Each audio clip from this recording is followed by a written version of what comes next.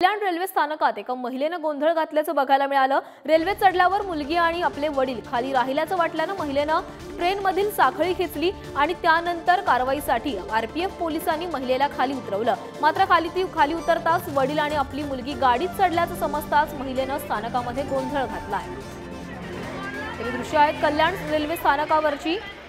आपले वडील आणि मुलगी ट्रेनमध्ये खाली उतरल्याचं खाली राहिल्याचं समजताच महिलेनं साखळी खेचली आणि त्यानंतर तो गोंधळ समोर आला. आहे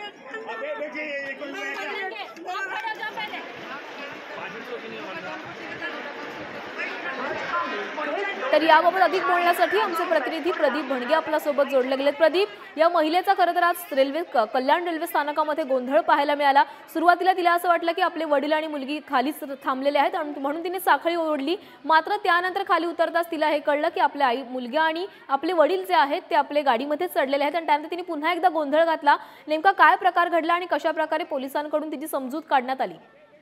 आपण जर बघितलं तर काल गुरुवारी हा सर्व प्रकार घडला आहे.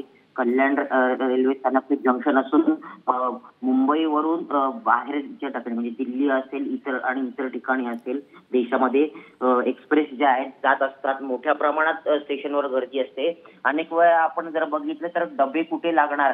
हेच प्रवाशांना समजत नसल्यामुळे आता गोंधळ उडतो. आपण जर बघितलं तर जे इंडिकेटर्स आहेत हे इंडिकेटर्स पण योग्य पद्धतीने करावी अशी प्रश- प्रवाशांची मागणी आहे. प्रवाशांना वेळेत माहिती दिली जावी जेणेकरून हा गोंधळ उडणार नाही अशी प्रवाशांची मागणी आहे. आपण जर बोलले- बघितलं तो एलटीटी गोरखपूर एक्सप्रेस गाडी चढताना हा सर्व प्रकार झाला. महिला आणि तिची आई यांनी तब्बल अर्धा तास गोंधळ घातला असून त्याचा व्हिडिओ आता व्हायरल झालाय.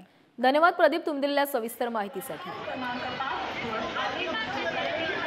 तर दृश्य कल्याण रेल्वे स्थानकातली ही दृश्य आहेत. महिलेनं हा गोंधळ घातलेला आहे. सुरुवातीला तिची मुलगी तिची मुलगी आणि तिचे वडील स्थानकाबाहेर स्थानकातच थांबल्याचं तिला कळताच तिने रेल्वेची साखळी खेचली.